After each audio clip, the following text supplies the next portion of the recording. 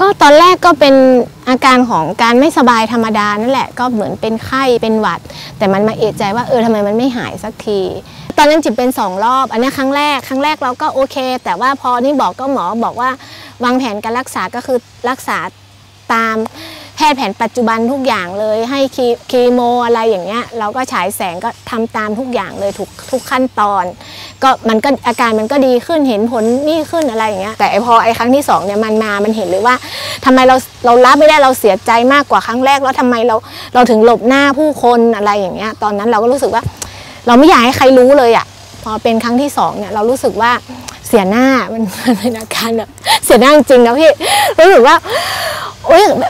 เป็นตัวอย่างแล้วเป็นแบบโอ้คนอะไรอย่างเงี้ยมาหาเรามาอะไรอย่างเงี้ยแล้วก็โอ้คนชื่นชมมากอะไรอย่างเงี้ยแต่คำถามว่าทำไมอะฉันก็ดูแลตัวเองดีแล้วอะพี่เออทำไมฉันก็ดูแลตัวเองดีแล้ว ฉันก็โอ้ทำทุกอย่างนอนไม่เกินสี่ทุ่มฉันแบบโอ้อะไรเลยอะไรอย่างเงี้ยเรื่องอบายมุกเรื่องอะไรทั้งหมดเราก็ไม่ได้อะไรแล้วอะไรอย่างเงี้ย เรารู้สึกว่าเออมันมันเกิดคำถามขึ้นมา แล้วเรารู้สึกว่า คำถามมั้งช่วยช่วยทำให้เราอยากอยากรู้คำตอบอะมันเริ่มต้นแต่เรามาทำร้านอาหารสุขภาพส่วนใหญ่เราก็จะเจอคนที่กลุ่มที่เขาบางคนก็จะมีแนวคิดที่แบบ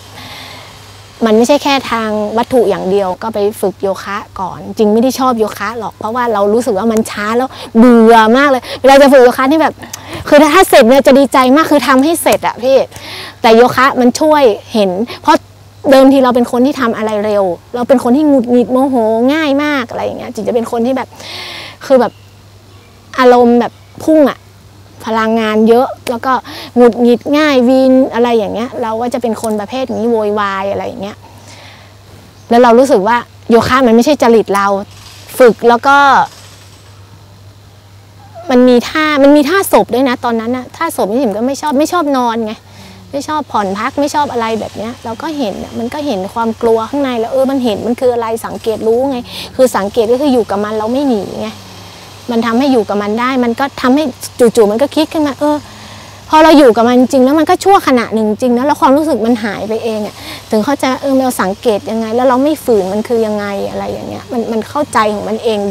ด้วยอะแต่ว่าแรก ๆ มันก็ไม่ได้เข้าใจหรอกก็ฟังมันแค่คือคำอะแต่พอทำอะ ปฏิบัติกับไอเนี้ยมันมาสอดคล้องกันไงพอดีได้อาใหญ่อาจารย์วิสิตอะค่ะแกเอาหนังสือมาให้เล่มหนึ่งหนังสือของงานศพอะที่ระลึกงานศพของแม่พระอาจารย์ไพศาลนะคะแล้วอาใหญ่ได้มาอาจารย์วิสิตวังวินยูได้มา แล้วก็เป็นหนังสือที่พูดเกี่ยวกับนี่แหละความตายอะไรเงี้ยเพราะตอนนั้นมันต่างจังหวัดอะมันยังแบบเราพูดกับใครไม่ได้เป็นลางอะไรเงี้ยคือมันก็จะมีอะไรที่เราอึดอัดอะ แล้วเราอ่านแล้วเราสึกเออคือมันใช่อะมันรู้สึกว่ามันเป็นเหมือนกับเราคอนเนคกับหนังสืออะเราคุยหนังสือคือหนังสือมันเข้าใจเราอะเรารู้สึกกันมันมันเหมือนกับเราคุยกับใครไม่ได้แต่เราเราอ่านแล้วเราเข้าใจหนังสือเล่มเนี้ยเออว่าเออมันคืออะไร จริงมันคือมันก็เห็นนะว่าจริง แล้วเรากลัวอะไรอะมันมันคือความกลัวจริงอะเรากลัวที่จะไม่มีตัวตนกลัวที่เพราะว่าเราเป็นคนที่อัตราเยอะอะถ้ามองในทางทางโลกเนี่ยอัตราเยอะมากเนี่ยแล้วเราเรากลัวกลัวสิ่งนั้นอะ กลัวกลัวอัตราถูกทำลายกลัวอะไรทั้งหมดอะแล้วมันก็ได้คำถามว่า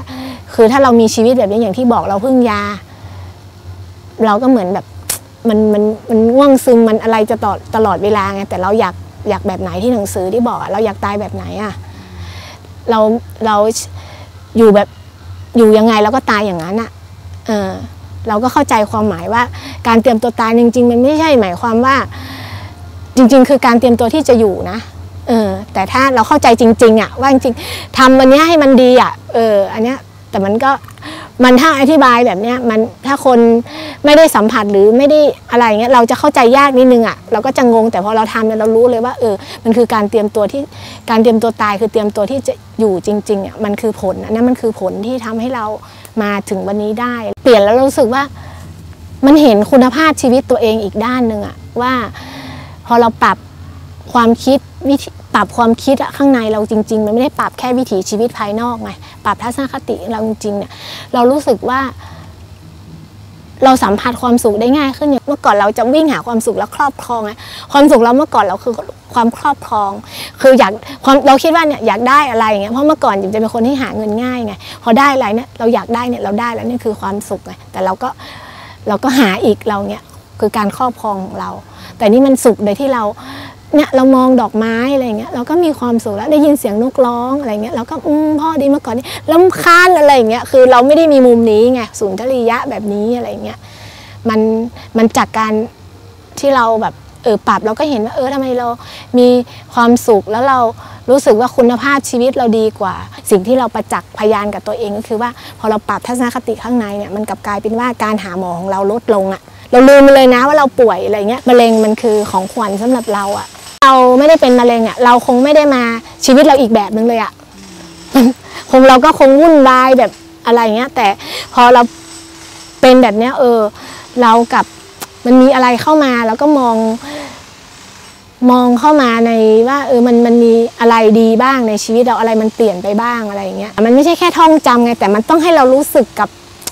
ทั้งเนื้อทั้งตัวจริง ๆอะซึ่งมันไม่ใช่ว่าเอาชนะมะเร็งนะ เราเรียนรู้กับการเป็นมิตรกับตัวเราเอง คือบางทีเราจมกับตัวเองเราคิดว่าเราโชคร้ายไง แต่พอเราไปเจอผู้คนอะ โอ้เราโชคดีกว่าคนอื่น เราชอบไปเปรียบเทียบกับคนที่เขานี่กว่าเรา บางคนเขายังไม่มีค่ารถมาเลย ไม่มีบ้านที่จะอยู่ไม่มีอะไรเงี้ยเพราะเราเห็นแบบเนี้ยมันปลุกข้างในเราพลังบวกเมตตาเราจริงๆไงโดยที่เราไม่ต้องไปอะไรกับมันเนี่ยมันเป็นธรรมชาติของมันเอง แล้วมันค่อย ๆ เรารู้สึกว่ามันค่อยๆ ตรงเนี้ยมันค่อยๆเยียวยาเราเองว่าอืมเราโชคดีนะ อันเนี้ยมันคือของขวัญจริง ๆ มันคือสิ่งที่ สิ่งที่เรา รู้สึกรักตัวเองจริง ๆอะพอเราทำอะไรได้สักอย่างเรารู้สึกเป็นอะไรที่เป็นคุณค่าสำหรับเราบางทีการเอาชนะ มันต้องมีคนแพ้และชนะ อย่างอย่างประสบการณ์ตัวเราเองที่เราผ่านมาเนี่ยการเอาชนะเนี่ยมันเหนื่อยอย่างครั้งแรกที่จิ๋มเอาชนะสู้กับโลกไงแล้วกลับมามันแรงกว่าเดิมอะแล้วเรารู้สึกว่ามันเหนื่อย ทีนี้ไม่ต้องชนะหรอกอยู่ร่วมกันนี่แหละ เพราะว่าจิมมีความเชื่อชุดหนึ่งว่า แต่ละคนก่อนที่เราจะมาเกิดบนโลกใบนี้ทุกคนมีภารกิจของตัวเอง แต่ละคนจะโจทย์ของเขาอะก็คือโจทย์ของเขาใช่ไหมเราก็แค่บางอย่าง มันเป็นภารกิจของเขาเอง คืออย่างบางคนมาเป็นขอทานอย่างเงี้ยค่ะ บางคนมาเจอชะตาชีวิตแบบเนี้ยกำพร้าหรืออะไรทุกอย่างเนี่ยคือเขาเลือกแล้วเขาจะมาเป็นแบบเนี้ยแต่ต้องข้ามโจทย์ตัวเองให้ผ่านอย่างอย่างจิมเนี่ยมาเรียนรู้เรื่องของการให้อภัย ความรักโจทย์จิมก็คือความรักและการให้อภัย ถ้าจิมไม่ผ่านอะโจทย์เนี้ย จิมเกิดมาจิมก็ต้องมาเจอโจทย์นี้อีกจิมต้องมาแก้โจทย์นี้ให้ตัวเองผ่านอะจิมมีความเชื่อแบบนี้ไงจิมว่าความรักสำหรับจิมนะจิมใช้ชีวิตด้วยความรักจิมว่าอันเนี้ยมันคือทั้งหมดละ แล้วมันพอมันจิมนี่ตรงเนี้ยมันทำให้สำหรับจิมบทเรียนตรงเนี้ยมันทำให้จิม ดีขึ้นอะที่เป็นเราทุกวันเนี้ยอการความรักจากการให้ที่ไม่มีเงื่อนไขอะรักแบบรักแบบไม่มีเงื่อนไขอะรักจริง ๆอะ